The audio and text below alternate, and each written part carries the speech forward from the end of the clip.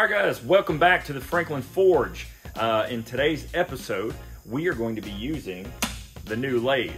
Now, I've used the lathe in the past, but it was a little mini lathe, um, and it was very, very limited. The gears inside are plastic.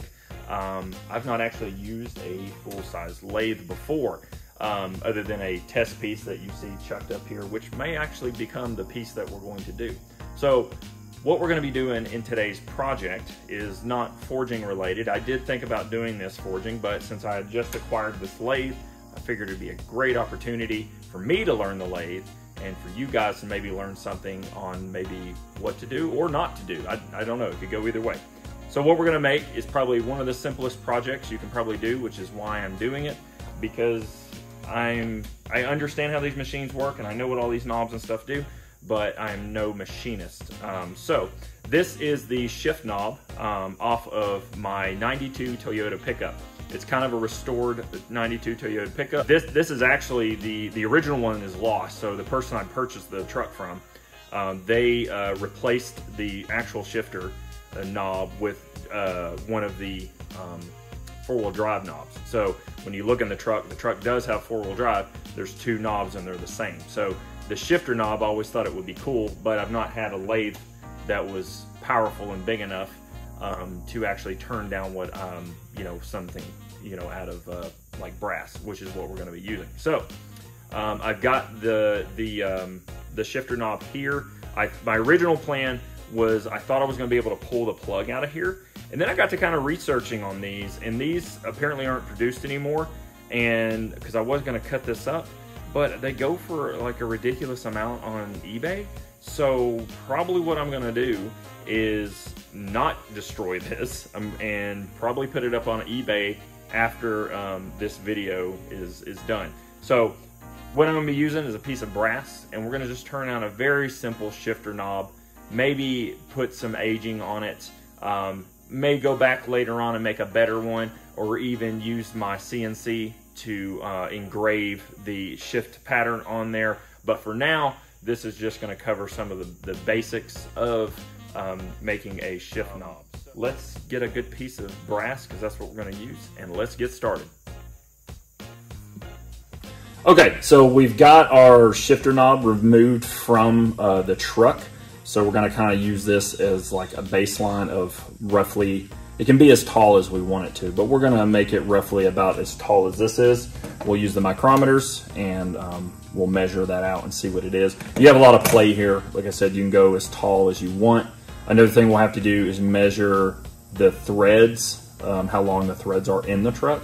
So we'll have to do that um, uh, next just to make sure that um, you can go, it's okay if we go too long, but you know, there's a certain um, length that we can't go. We have a little bit of play on the length of there.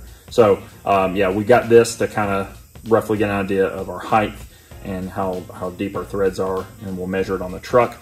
But um, I've got a piece of brass and that um, is chucked up in the lathe that happened to have a scrap piece of brass that was roughly this the, the diameter that I'm wanting to use for this project. So um, we're starting out with, with just a, a piece of round um, brass. So I think the first thing we need to do is face off this front so that we've got a nice flat surface to work from. And then um, we're gonna want to come in with our um, center tool and we'll, we'll drill in a little bit here and that will set our center. And then we'll come in with a, uh, I believe a 10.75 millimeter drill bit to um, bore this out. So when you're when you're tapping, I've got my tap here. Um, you can buy little thread checkers and figure out your pitch and everything, and then order, um, or you can research it online.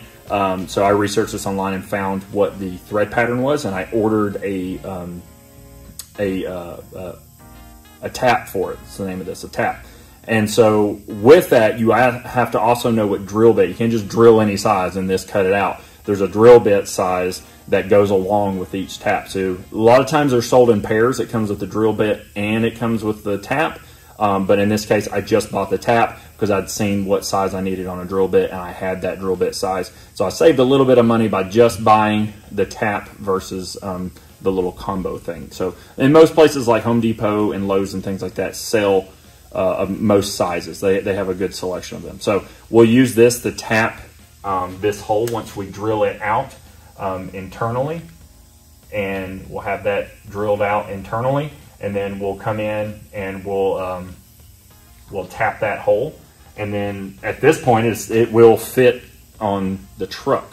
Um, and you know you would leave it as a big long bar stock but we're gonna add a little bit of flair to it not getting too fancy because like I said this is kind of my first lathe project. Uh, like I said I had a little tiny one but this is a full-size lathe so we're gonna take it easy. It's a simple first project. So we'll probably come in um, profile wise and um, kind of take the edges down a little bit on each side, put a bit of a chamfer there, and then maybe come in with some like random, we'll measure them out, but some, some cuts there. That will then, you know, be spun around the whole part because it's a lathe. Just something simple, um, kind of looks like a grenade. And then of course, like I said, that'll be threaded and that'll screw on.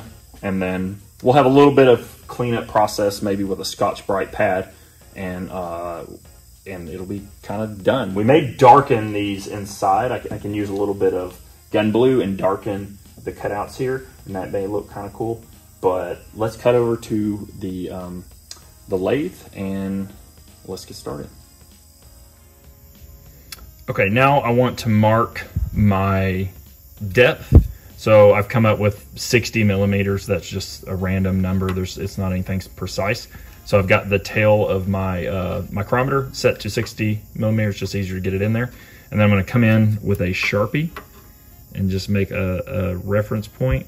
This doesn't have to be exact. Maybe make a couple of them. And that's gonna let me know where I'm gonna stop. So now I can actually turn the lathe on and use the Sharpie as it's spinning as a, a marking point.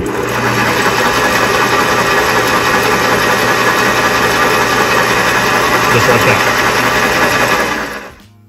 All right, so we're gonna take our tailstock here and first thing we're gonna do is we're gonna lock it down so that it doesn't slide on us. So we got that locked down and then you can turn this handle here and it moves this um, centering bit um, towards um, your piece. Um, if you needed to lock that down, you can, um, but in this case, we don't need to lock this down. We're gonna leave it open because we're using this wheel to come in and just put a slight little um, dimple in there so that we can find a center and switch out to our uh, drill bit. So let's fire the machine up and do that.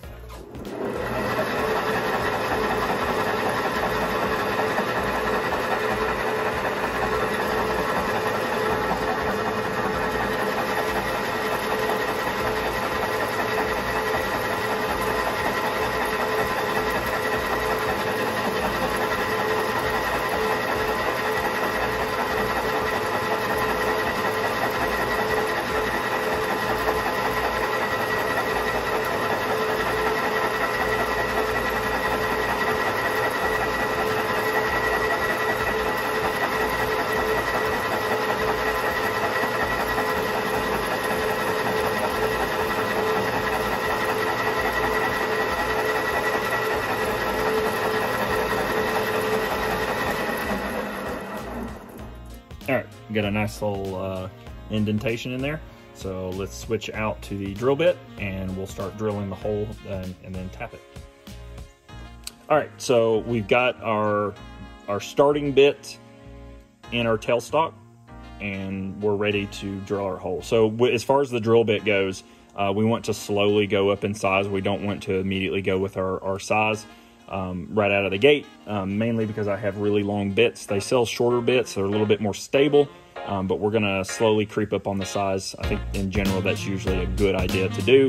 Uh, that way there's no risk of breaking a bit off into your workpiece. So um, you're not taking big bites. But the first thing we need to do is we establish that our depth of cut is 24 millimeters. So I set my calipers to 24 millimeters and roughly, it's, this isn't exact science. Uh, I lock them down and then I'm gonna take a piece of tape, any kind of tape works. And I'm gonna mark here, find out where 24 millimeters depth of cut on my bit is roughly. And then I'm gonna lay a piece of just like that. That way I know how far in I need to go and I don't really need to go further than that. I can go a little bit further, it's not the end of the world, but that's gonna give me a general idea. So, all right, let's um, get it close and fire up the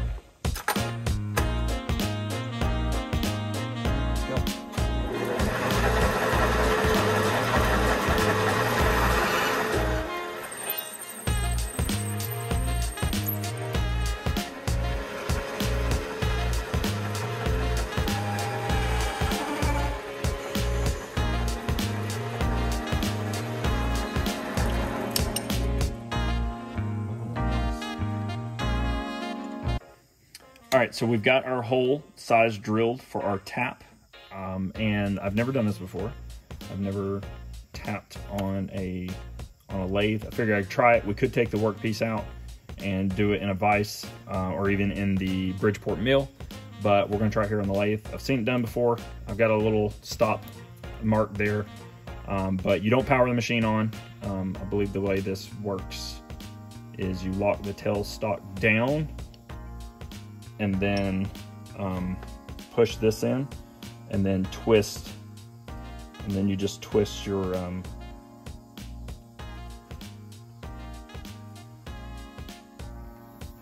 and also buy the good taps. Don't buy the cheap ones. It really makes a difference buying a you don't even have to be the highest end ones but you know I think you know what I'm talking about when it comes to buying cheap ones. All right. We bottomed out right there.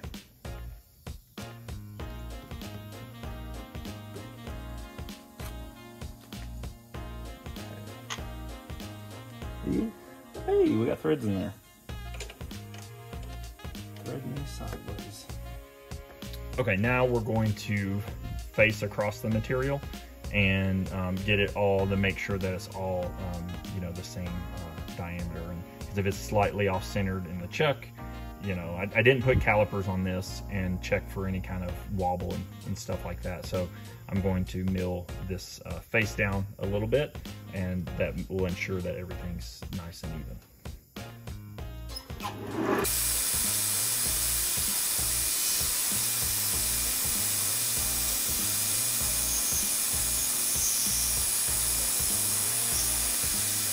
Okay, so I've got, um, I've marked out with the calipers and then using the Sharpie method um, where my lines are that I'm gonna start cutting in my grooves. And I'm just using a V-bit here um, and that should cut my grooves in for me. And I'll try and make them consistent using my dial uh, on the, using my dials on the lathe to, uh, to cut those grooves in there. So we'll go nice and slow and I'll start um, cutting those in.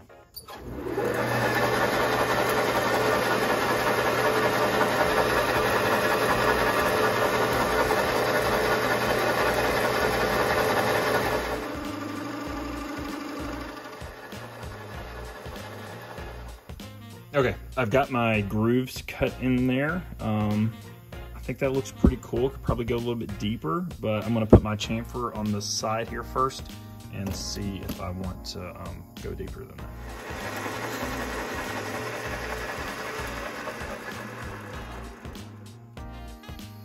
All right, you can see I've got the chamfers and these cut in. They look pretty even to me. Um, Next, I think we need to do a bit of polishing on this. So I think I'm gonna start with a maybe some 220 and then go to 400 and we'll see how that looks. Okay, I hit it with um, 220 and then, and I do that by holding, it's, it's a little dangerous, but the lathe is running and I'm holding the sandpaper like this and lightly pressing um, and I sand it that way. And you could make this as polished as you want. I think I'm just gonna keep it at like a matte finish for this because I think it looks good. Because if I go shiny, it's just gonna quickly show scratches. So I'm gonna leave it um, kind of and I think I am gonna do black in between here. So uh, yeah, 220, 400 grit, and then a Scotch-Brite pad. And that kind of evened everything up, but it is, it's looking good inside. So now what I've got set up is what's called a parting tool. And um, it's just a, a, like a, a stick that has a carbide thing on the end of it. Um, and then you push it into the piece and it'll cut your piece off. So that is the next thing that we are going to do.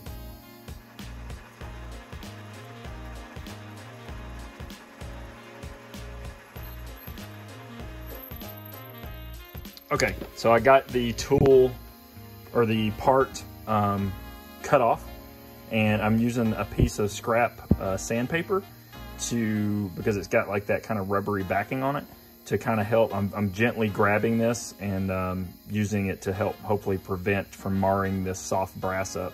Um, but pretty much we're almost done. We're just gonna put a little bit of chamfer on here and sand the end of it and that's pretty much it. Well, here it is. Um, I'm pretty happy with how it came out for my first project. Is it perfect? No, but it's way better than I expected it to be.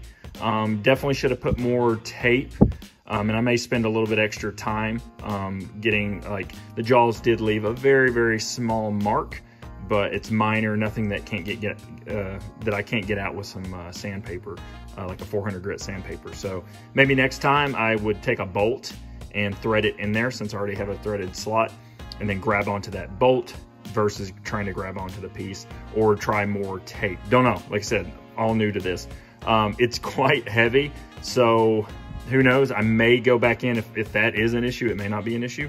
Um, if, if it is an issue though, then um, I'll go back in and I'll do either more cuts or deeper cuts.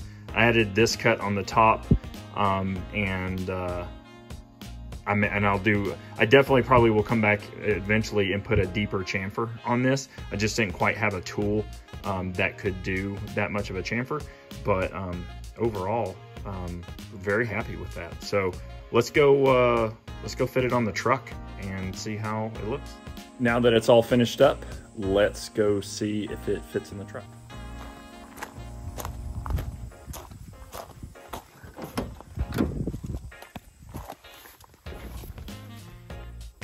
Moment of truth.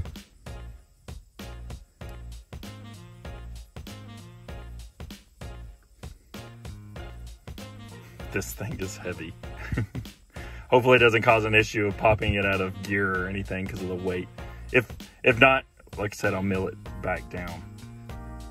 Sweet, that went on really, really well. Um, and that looks pretty awesome. Um, feels great. Uh, I just got to give it a test drive, make sure there's no issues and the comfort. Like I I may put a, a bigger chamfer here on the on the edge here so it's not such a hard hard corner and maybe a little bit more comfortable. But for my first lathe project, um, I'm pretty happy with that. So cool. I'm gonna give it a test drive and uh, we'll have some closing notes. All right, everyone, we finished this up. I'm uh, super happy with how it turned out. I learned a lot. It's my first uh, lathe project, so hopefully there's a lot more to come uh, with the lathe. I can keep growing and learning how to use it and incorporate it into some knife projects, some forging projects would be super cool. Um, so yeah, I challenge you to get out there if you've got a lathe and uh, make your own little gear shifter if you drive a manual because um, uh, it's a fun, fairly easy project to do um, and to learn different aspects of your lathe. So with that, please subscribe to this channel and check me out on Instagram. I'll have everything linked down below. So keep making. Thanks for watching.